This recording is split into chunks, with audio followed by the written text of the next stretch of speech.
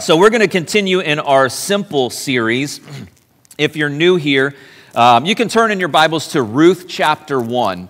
Uh, we've been going through this series called Simple, and all we're doing is we're going to very well known Bible stories that pretty much almost everybody knows, and we're just reading through and finding some very simple truths. And I always try to keep the cookies on the bottom shelf. I try not to go too deep with things, but just to say, hey, God, what are some principles or some life lessons or some application that we can pull from these stories and just and if we and, and we're going to as we get a little bit further we're going to take one sunday and probably go through all of our points just to really fasten them down because as followers of jesus and as i've been saying it as simple followers of jesus not like uh, not smart but more like really just keep it plain and easy. And that's what we're trying to do is to look and see what God has for us. So for today, we're going simple Ruth.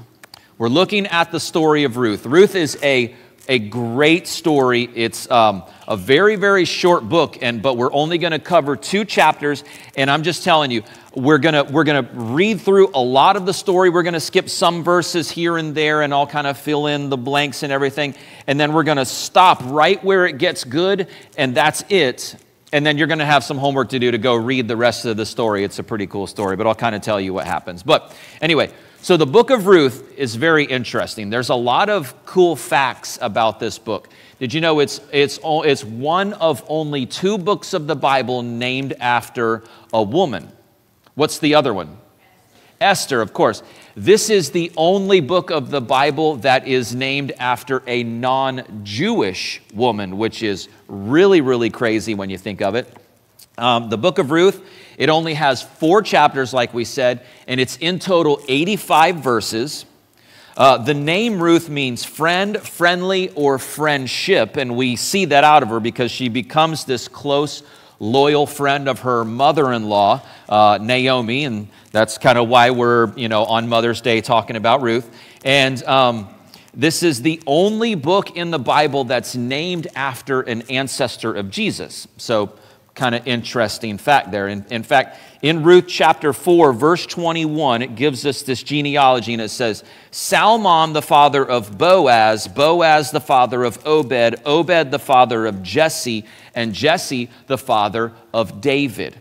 Now, we didn't talk about Ruth in that, and we will here in just a second, but we know that David was King David of the tribe of Judah and going all the way through of the lineage of Jesus. Well, if it's interesting, if you look at Matthew 1, you don't have to turn there, but in Matthew chapter 1, it's the, another genealogy. In verse 5, it says Salmon, so it starts out basically saying Salmon, the father of Boaz, whose mother was, who's that?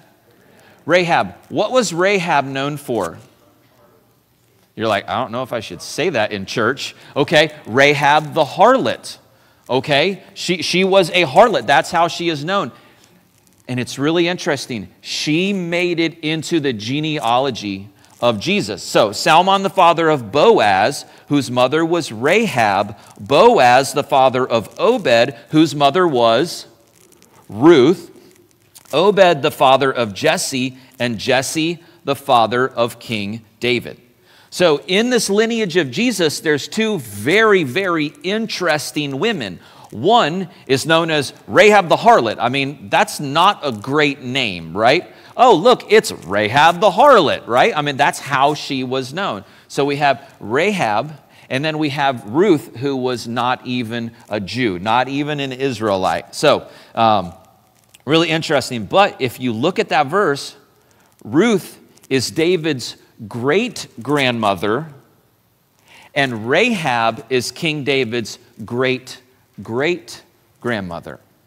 Pretty interesting, isn't it? Now, now, here's why that is so significant. Now, okay, yes, both of these women were non Jewish. They, they converted, they followed uh, the God of Israel, Yahweh, and we're actually going to talk about Yahweh here in a few minutes. But Here's, here's why this is so interesting that these two women are in the genealogy of Jesus. If you were writing a book, Okay? Think about this. Think about all the people that have claimed the Bible is just a bunch of stories, and yeah, it kind of coincides with history, and some of the stuff happened. Okay, okay, okay. If you're writing a book and you are trying to make up the biggest lie ever known to man, and you're making up a bunch of stories, you would not include this in your story. You would not have included, number one, a harlot, a prostitute, and number two, a, another woman who was not a Jew, much less women would not have been included in the genealogy of Jesus. It's the same thing when Christ was resurrected. Who were the first witnesses that saw the resurrected Christ? Women. Okay. Back then, you did not do that. Like that absolutely threw all of your credibility out of the window. You don't do that unless it's true. This would have been absolutely laughable at the time, except the writer knew this was true. This is what is going into God's Word. So, this book of Ruth, uh, it's, it's really an awesome book. We don't see, it just like the book of Esther, we don't see a big miracle happen. If you read through the Gospels, and we'll, we'll get there one of these days and just start looking at all the miracles of Jesus, you don't see these really big miracles. But what you do see is this concept of providence. And providence is, is so important in this story, and it's really important for us. So, in fact, providence is the idea that God uses natural events or daily life, okay, things that happen to us, God uses natural events to enact supernatural results. It's, it's us just doing life hopefully, prayerfully, in a way that honors God, in a way that is according to God's will. Us doing life, and God's like, okay, that's a person that I can use. That's a person that is trying to follow my will, and I want to use that person to accomplish something great. And you look back at it and you go, Whoa, how did that happen? Just like the story of Ruth. It's a very, very unlikely thing that happened. Now, we talked about it last week. Sometimes God will use what you're doing even though you are outside of the will of God. And that's actually what happens to this family in the beginning of the story. They're kind of moving outside of the will or the covenants of God, and God still swoops in and uses them for his purpose. And we said it last week you can let God rule over you, or God will overrule you. The choice is yours. I would prefer the first half of that, right? It's, it's definitely better to let God rule over you than to, for God to step in and say, okay, dummy, I've let you go far enough. I will overrule what you are doing. Romans 8 28. This is one of, uh, one of the most used verses, but it's also one of the most misused verses in all of Scripture says. And we know that in all things, God works for the good of those who love Him, who have been called according to His purpose. That does not mean that God swoops in and in all things God makes good. That's how people think of that verse. That's not. It says God will take whatever He wants and use it for good. Use it for good for His people who are called for His purpose. So, Ruth chapter 1, verse 1. You guys ready? You got your Bibles there? Not one person. That was okay. Take a drink break here. Here we go. In the days when the judges ruled. Okay, pause. Okay, my man, you got like six words in or something like that. Okay. Judges. This is talking about judges like the book of Judges. This was, of course, before King David, there was no king of Israel, and Israel was governed or ruled by judges, and they would be these heroes. We talked about one not too long ago, right? Samson. Okay, there were judges and they kind of ruled over the land. And it is thought that, that the book of Ruth, this story of Ruth, happens around Judges chapter 10. If you're taking notes, if you're a geek like me, I dig that stuff. So, in the days when the judges ruled, there was a famine in the land.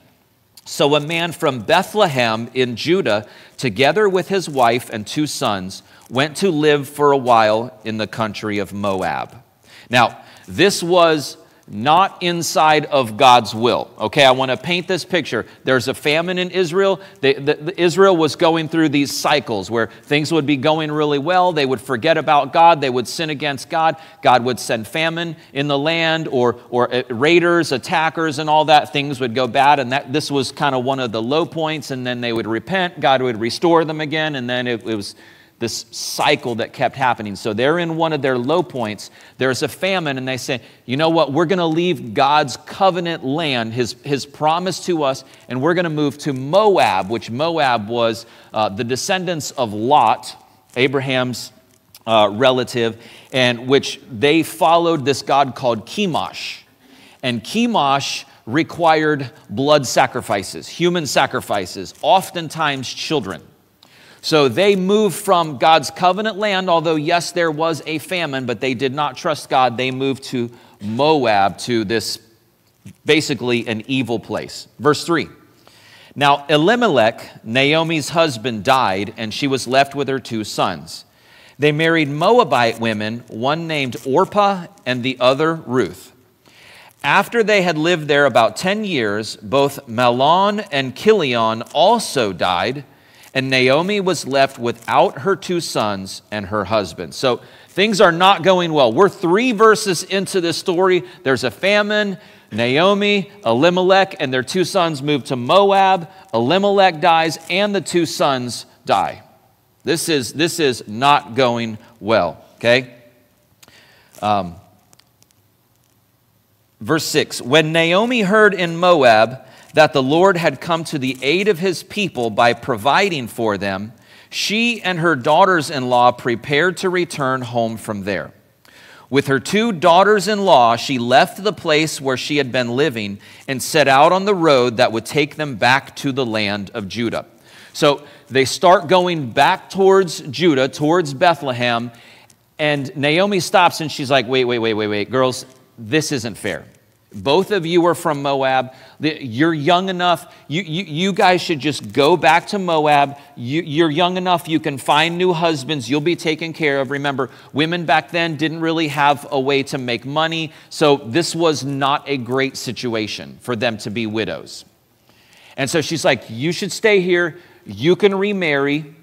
And, and I'll just don't worry about me. So that's what's happening here. So they, they, they put up a little bit of a fight. They're like, no, no, no, we're going to go with you. And they go back and forth. And then Orpah says, ah, you know what? It probably is better for me to stay here in Moab. So down to verse 14.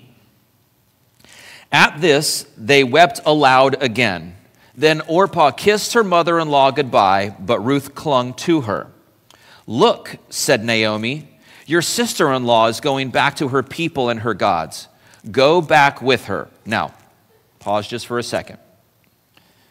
I need us to understand the gravity of these next two verses here. Verses 16 and 17 are one of the most pivotal moments of history because a decision is going to be made here that affects us being here in this moment right now. And you're like, they're just having a conversation. What's going on? Listen to what Ruth says. Verse 16. But Ruth replied, Don't urge me to leave you or turn back from you. Where you go, I will go. And where you stay, I will stay. Your people will be my people, and your God, my God. Where you die, I will die, and there I will be buried. May the Lord deal with me, be it ever so severely, if even death separates you and me. What a massive statement. Ruth was like, Naomi, I'm in this till the end. I am your ride or die, if you will, okay, if we're talking now language. She's like, listen, I'm not going to leave you. I, I, I was committed to my husband. He died. I am now committed to you. I am going to follow you back to your land. Your land will be my land, your people, my people, your God, my God. I am with you to the very end. If that had not have happened, you might as well call up the shepherds and say, Don't look for the angel when you're keeping watch over your flocks by night, that whole deal. You can let the wise men know, Hey, don't, you know, come over and search for the baby Jesus. All of that stuff you can pretty much cancel out, at least through the line of Ruth. But Ruth must have had some prompting, must have just had this character that she's like, No, no, no, no, no. I'm with you, Naomi. I am with you to the end. Verse 18 When Naomi realized that Ruth was determined to go with her, she stopped urging her. Now, in our series, our simple series, we only have three points. If we had more than three points, I would say right here in this moment, simple followers of Jesus honor their commitments, but we don't have more than three points, so I'm not saying simple followers of Jesus honor their commitments. See what I did there? Okay, cool. But they do. Simple followers of Jesus honor their commitments. Ruth's character was so honorable that her, again, her, her commitment to her husband was like, that was, that was gone. He, he, he was dead. But she was like, you know what? I'm staying with you. You're, you're a widow, I'm a widow. At least maybe if we stick together, we can, we can make this work. I don't want to go back. I love you, Naomi. Uh, uh just there was this bond between them. Down to verse 22. So, this, this really, really cool thing, pivotal moment, verses 16 and 17. I'm staying with you. Drop down to verse 22. It says So Naomi returned from Moab, accompanied by Ruth the Moabite, her daughter in law, arriving in Bethlehem as the barley harvest was beginning. Now, what a weird detail to include, right? I mean, again, this, this big moment, your people, my people, your God, my God, and it was barley time, right? It seems like it doesn't fit in. But there's something that we're going to start to see that just starts happening, and that's that providence thing. That's God starting to work in normal circumstances for a supernatural result. Chapter 2, verse 1. Now, Naomi had a relative on her husband's side, a man of standing from the clan of Elimelech, whose name was Boaz. This means he was a very respectable man. And Ruth the Moabite said to Naomi, Let me go to the fields and pick up the leftover grain behind anyone in whose eyes I find favor. Now, what was happening was as soon as they got into town, they obviously they had nothing with them. And as soon as they get there, Ruth says, Hey, Naomi, I need to go out into the field. I've got to go what's called glean. There was this process called gleaning. And gleaning was basically the welfare system of the day. When farmers would harvest their crop, they would purposely not get every little speck of crop, they would leave some behind. And then the poor would come in and they would glean. They would walk through and they would pick up all of the leftover scraps. Again, that was their welfare system. So it says, Naomi said to her, Go ahead, my daughter. Like immediately when they get there, Go ahead, my daughter. So she went out, entered, notice it says, a field. Is there any specificity in that, or it just it seems like it was a random field, right? Are you with me? Okay. So she went out, entered a field, began to glean behind the harvesters. As it turned out, here is this uh, another phrase of just like random chance. You see what's happening, just like the writer wants us to know that this, these random things are happening. And as he gets further, as he's writing this, we're seeing how God is pulling all of it together. As it turned out, by chance, if you will, she was working in a field belonging to Boaz, who was from the clan of Elimelech. Okay, so it just happened to be their relative. You think this was just a coincidence? No. I know some people, they're like, I don't believe in coincidences. I believe in God incidences. God, God, is that how we say it? I don't know. Something like that. They say it, I don't say it. Verse 4, here's another one. Just then, here's this other phrase of random chance. It just happened to be at that time, just then, Boaz arrived from Bethlehem and greeted the harvesters. The Lord be with you, The Lord bless you, they answered. So he comes into the field and he just gives them a greeting. Here are uh, the poor people. Here's this rich farmer. And here's the poor going through the fields after it had been harvested just then. And he says, The Lord be with you. And they say, The Lord bless you. It was like this very, very cordial greeting. But the first thing he leads off with was this statement of God or this, this blessing. Verse 5 Boaz asked the overseer of his harvesters, who does that young woman belong to? See what's happening here? He's like, uh, ooh, okay, all right, hey, hey, hey. Whose, servant is she? So he starts talking with his harvesters. He's like, tell me about that one right there in, in, in, the, in the brown, the, the thing, and the, yeah, yeah, tell me about her. What, what do you know about her? What did you find out? So we like we see this kind of love connection starting to happen here, right? Verse 6. The overseer replied, listen to how he answers. She is the Moabite who came back from Moab with Naomi. She said, Please let me glean and gather among the sheaves behind the harvesters. She came into the field and has remained here from morning till now, except for a short rest in the shelter. What was the report that he had given about her? She came here first thing in the morning and she's like still here, except for one little break. She came and just rested in the shade here just for a few minutes in the shelter, but then she went right back out to work. What was he attesting to? This was her character, this was her work ethic. She was obviously somebody who was not afraid of work, who went respectfully and said, Hey, uh, is it okay if I go in and I glean on your field? I know, I mean, this is kind of a thing, this is supposed to happen, but I just want to ask you just to make sure it's okay. I know I'm a Moabite, you know, I'm not really supposed to be here. I'm not from your land, I'm not of your people, uh, but is, is, can, please, can I just come and get some of this harvest? Verse 8. So Boaz said to Ruth, so he goes up and he starts a conversation, Mac Daddy here. My daughter, listen to me. Now, I do want to point something out here. The fact that he said, my daughter, means he is older than her. Okay? Not like older enough to be a creepy way, okay? But like, like there, is, there is a bit of an age gap here, okay? So he says, My daughter, listen to me.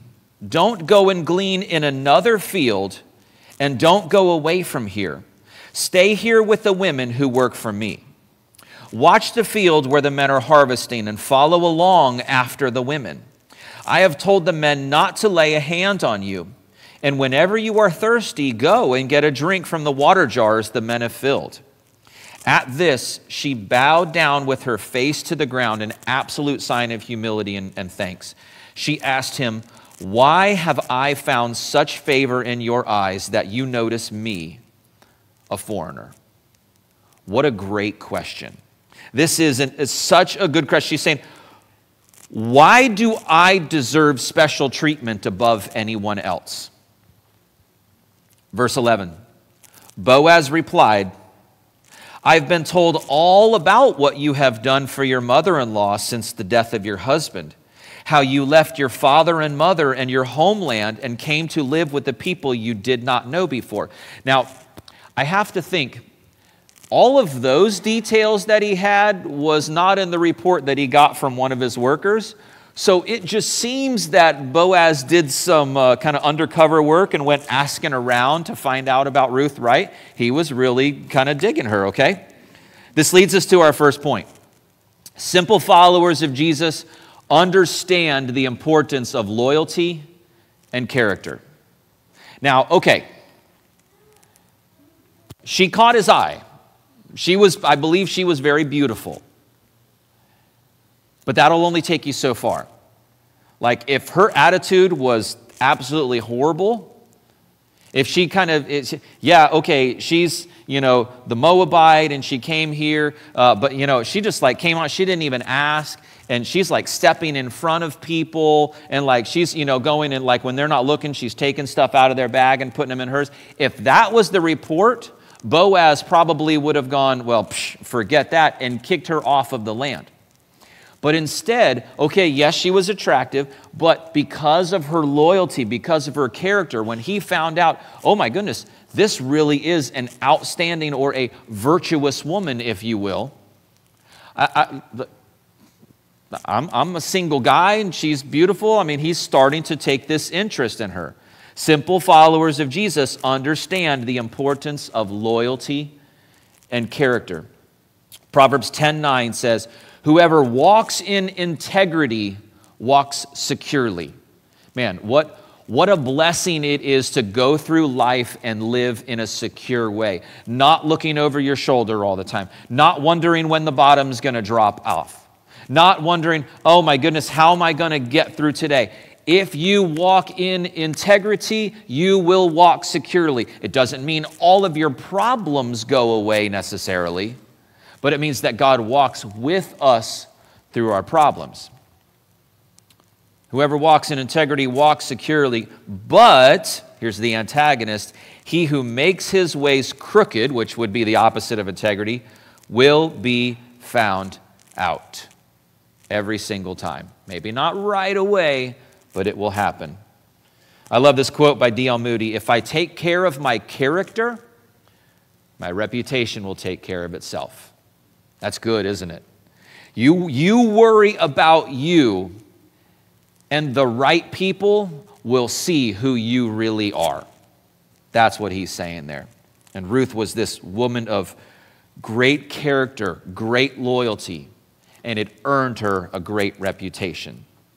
So, verse 12, Boaz is still speaking. Now, again, here's one of those things that if we're reading quickly, we will pass over this, but something so cool happens here.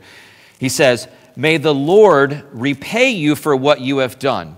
May you be richly rewarded by the Lord, the God of Israel, under whose wings you have come to take refuge. Now, look at that. What do you notice about that verse? It's in there twice. I'll give you a real big hint. What's, what's weird in there?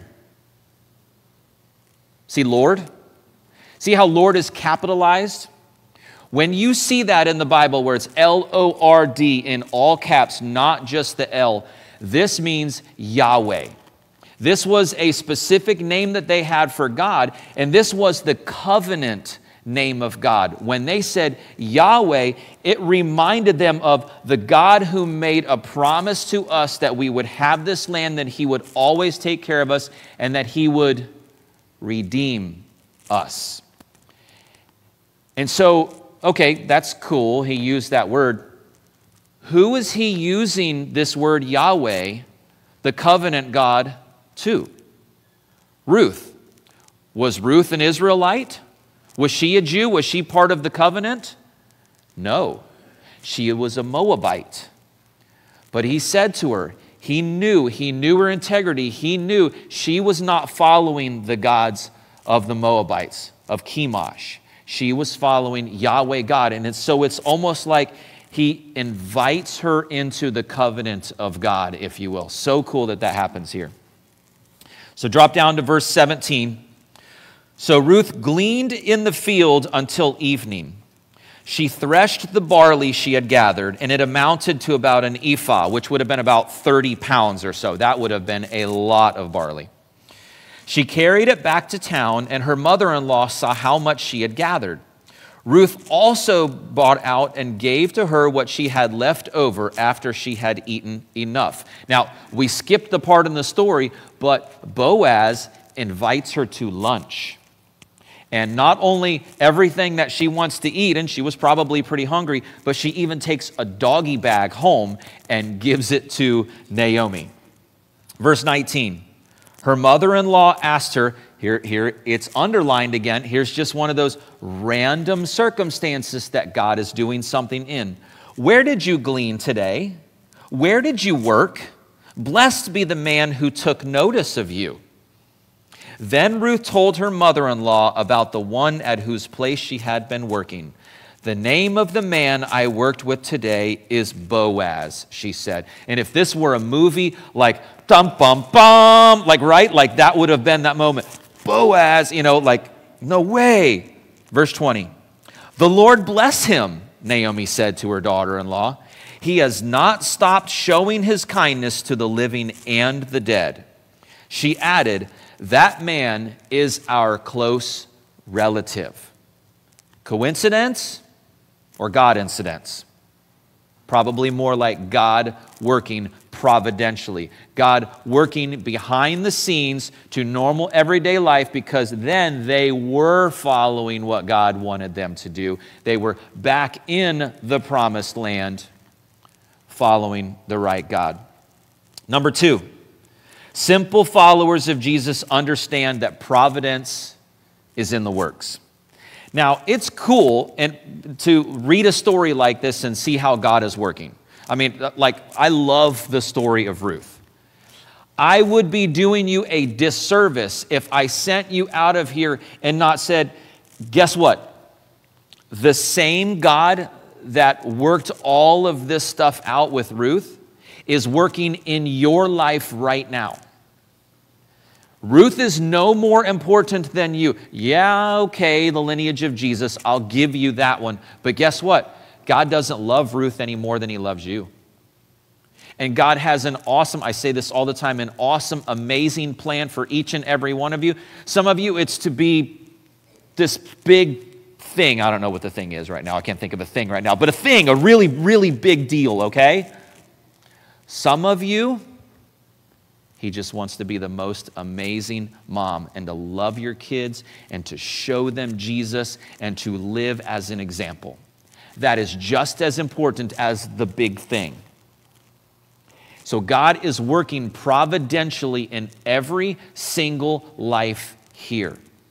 So the question is, are you working with God? Are you letting God rule over you? Or is God eventually going to have to step in and overrule you.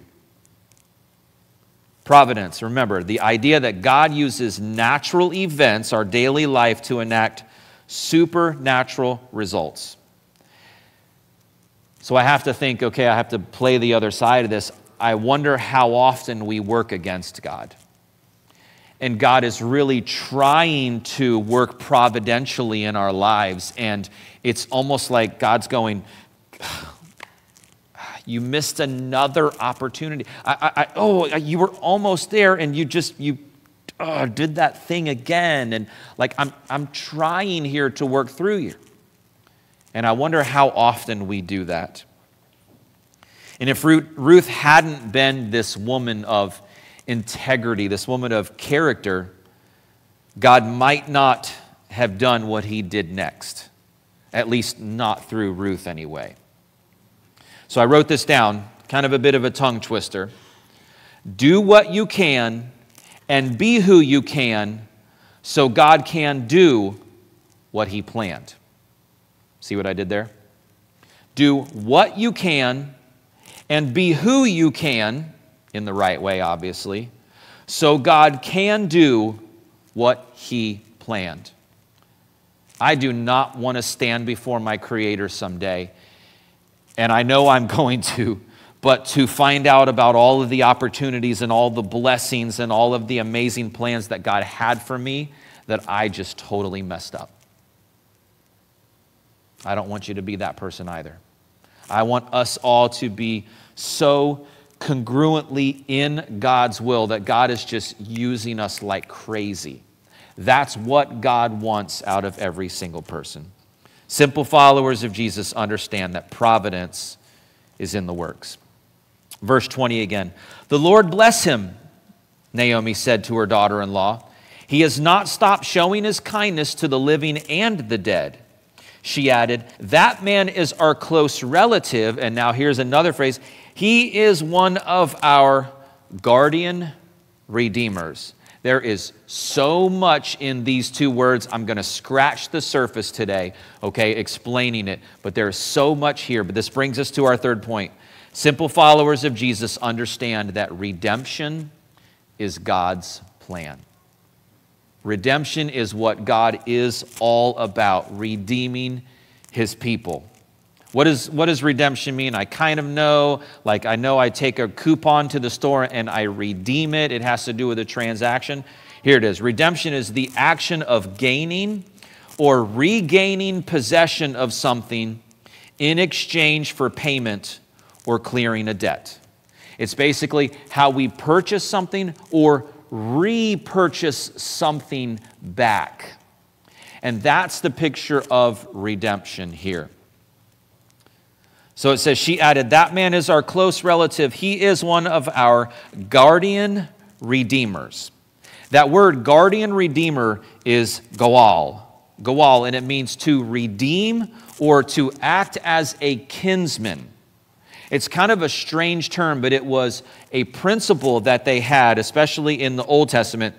The kinsman redeemer was a really cool thing.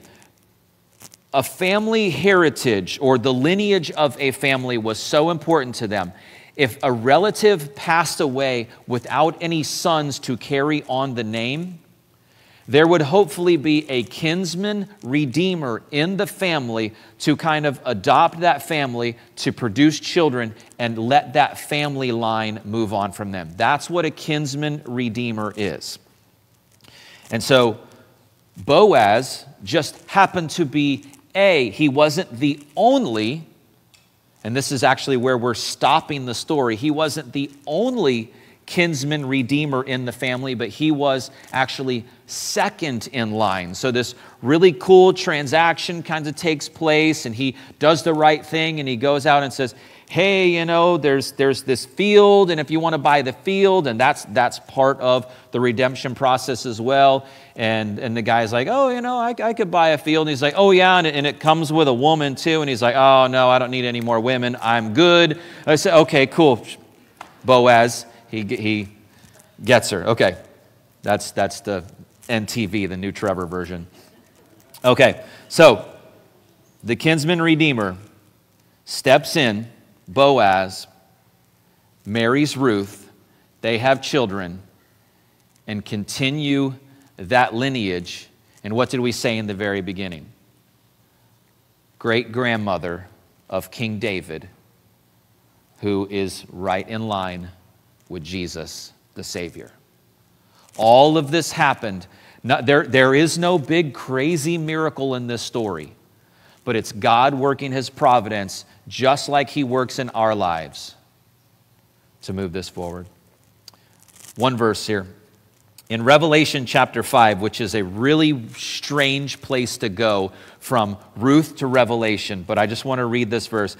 John is having this vision of being uh, up in heaven in the throne room and they bring out this scroll, and the scroll basically has the future events that are coming. And the scroll is sealed. It was sealed with a wax seal and press, and nobody could open the seal. And, and they're like, worried, what's going to happen? We don't know. No one can open the seal. And then in walks Jesus, and they're like, ah, he is the one. Jesus can open the seal to read what happens, to read what is next. So in Revelation chapter 5, verse 9, it says, and they sang a new song. This is everyone in heaven saying, You are worthy to take the scroll to open its seals, because you were slain. Here it is. And with your blood, you, what's that word? Purchased or redeemed. You purchased for God persons, watch this, from every tribe and language and people and nation. Guess what? That's everybody. The picture here is God's redeeming us. When He created, He created perfect. Adam and Eve, they were in. They didn't have to do anything except not eat from the tree of the knowledge of good and evil. Everything was good. They were eternity with God. And guess what? They messed up. They brought sin into the world. That sin transpired all the way to us. God wants us, but that sin separates us from God. So, in order for us to have an eternal relationship with God, He has to redeem us, He has to purchase us back. And the only way to do that was from the blood of Jesus hanging on a cross. His death, burial, and resurrection was the way that He redeems us back. But there's, there's a bit of a catch. It doesn't just automatically happen, it is a choice that we have to make. That we have to say, Jesus, you are my Savior. You are my Lord, Master, in charge. I will follow you. Not your church attendance, not your good works, not your grandmama's faith, none of those things. but knowing that Jesus Christ is your Savior because what He did 2,000 years ago on the cross and living your life for Him. Giving your life. Jesus, you are now in charge of my life. That is redemption. That is God's plan. Let's pray.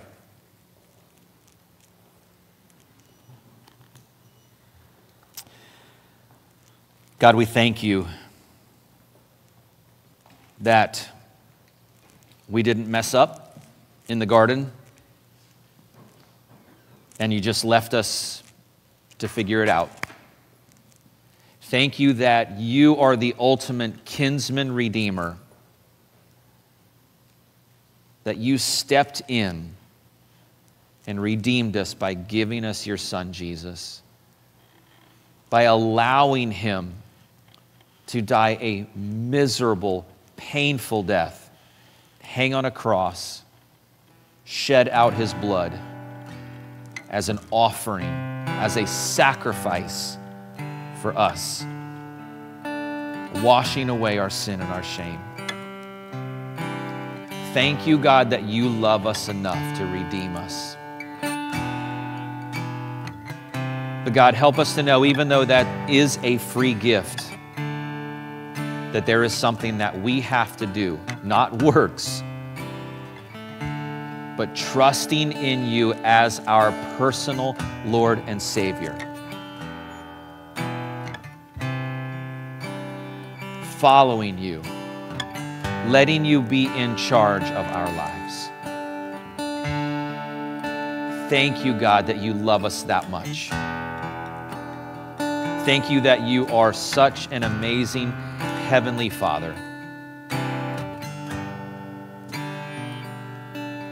Thank you, God, that you are the perfect example of how to live through your Son, Jesus. God, I pray if there are some here this morning who do not have that relationship, who have not been redeemed,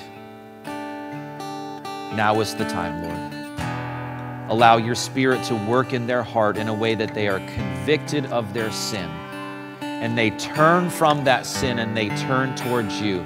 And in this moment, that they would say, Jesus, I trust in you.